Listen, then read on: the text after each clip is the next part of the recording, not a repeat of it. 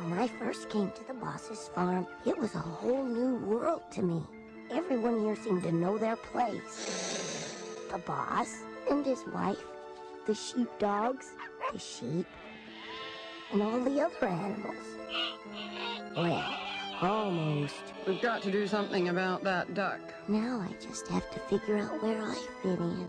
I want my mom. Good heavens. Who are you? Babe, There, there. The little pig's a bit low. He's going to sleep with us. But Mom, he'll wet the bed.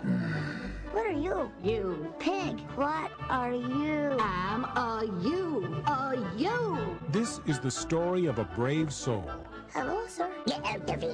Whoa, whoa, oh. who was trying to find his destiny. Can I learn how to work the sheep today? Get him up, pig. Remember, you have to dominate them. Bend them to your will.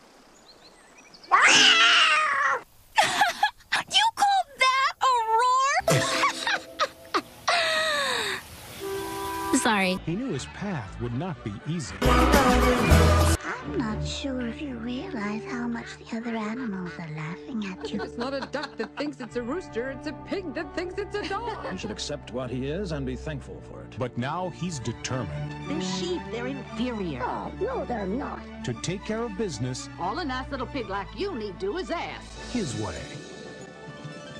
Thanks very much. It was very kind of you. A pleasure. What a nice little pig. From Universal Pictures comes the story of Babe, You look like an intelligent, sophisticated, discerning young fella. Who, me? the pig with the gift of gab, La la la. nerves of steel, Get out of here, you, you big buttheads. and a heart May I call you Mom? of gold.